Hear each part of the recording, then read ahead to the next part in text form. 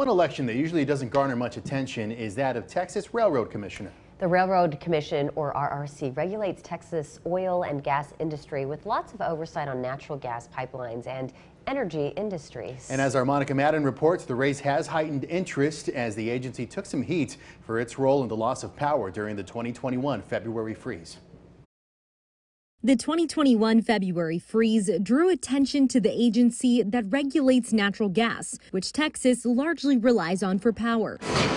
That oversight falls on the Texas Railroad Commission, which, no, has nothing to do with railroads and everything to do with oil and gas. Republican incumbent Wayne Christian was unable to fulfill our interview request in time, but sent us this clip back in March. I am the only candidate in this race with a proven record of fighting back against the radical Biden administration and standing up for American energy independence. He faces a challenge from Democrat Luke Warford. And I'll lower your utility bills a 33 year old from Austin with a background in the energy sector. Warford is hoping he'll be the first Democrat to win statewide office in decades. My opponent is a career politician who takes 99% of his campaign contributions from the industry he's supposed to regulate. Christian has largely avoided addressing those allegations publicly. Warford says his top three priorities, if elected, are securing the power grid, decreasing Texans' utility prices, and restoring transparency to the commission. During last February's winter storm, natural gas prices went up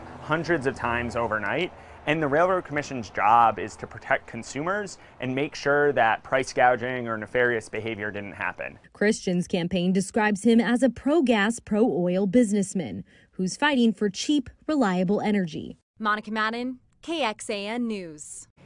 Now, the winner will join the three panel commission, which members serve on staggered over six terms. That is the longest out of any statewide position on the ballot. The Railroad Commission is an office KXAN investigators have looked into before, including ties between some commission members and the oil and gas companies they regulate. You can check out the series Oil Empire at kxan.com.